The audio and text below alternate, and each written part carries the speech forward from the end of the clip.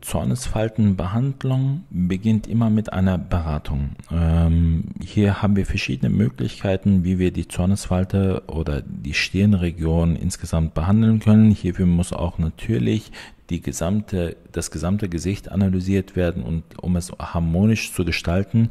Nur so können einzelne Regionen perfekt aufeinander abgestimmt werden.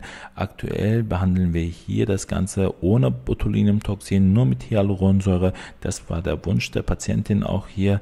Ich denke, sie wird ein sehr, sehr schönes Ergebnis bekommen, ein natürliches Ergebnis. Nach 14 Tagen kommt sie nochmal zur Kontrolle und dann schauen wir uns das Ganze an. Ich denke, aber jetzt kann man schon bereits erkennen, wie natürlich das Ganze verläuft und sie ist sofort gesellschaftsfähig